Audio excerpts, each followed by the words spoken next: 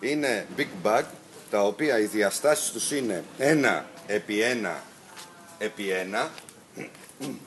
Εδώ λοιπόν μπαίνει το στιβαχτό, το κυβικό, έτσι μεταφέρεται στον πελάτη και από εδώ μεταφέρεται στον χώρο τον οποίο επιθυμεί. Η τιμή του συγκεκριμένου Big Bag είναι; Η τιμή του συγκεκριμένου big bag είναι 140 ευρώ το κάθε big bag.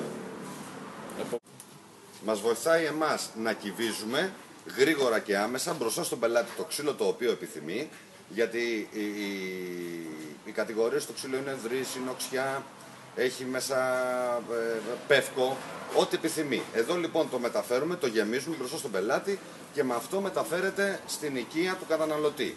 Η, η μονάδα μέτρησης πλέον που είναι σε κυβικό το συμφέρει διότι έτσι μπορεί να ξέρει τι παραλαμβάνει.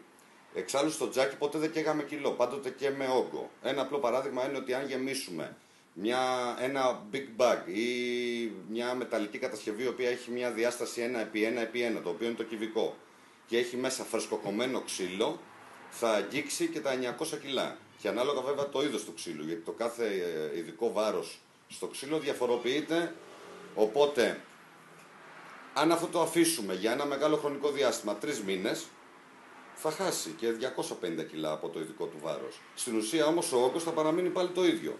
Οπότε δεν, είναι- δεν μας ενδιαφέρει ποτέ να αγοράζουμε κιλά, γιατί ποτέ δεν καίγαμε κιλά. Μας ενδιαφέρει ο όγκος. Και πιστεύω ότι το κυβικό είναι η απόλυτη μονάδα μέτρηση για το καυσόξυλο.